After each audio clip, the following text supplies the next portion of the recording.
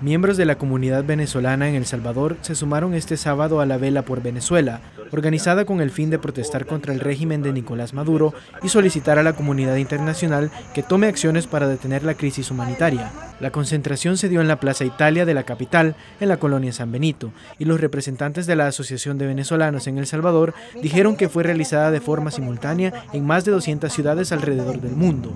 Este es un informe de la prensagráfica.com cansado.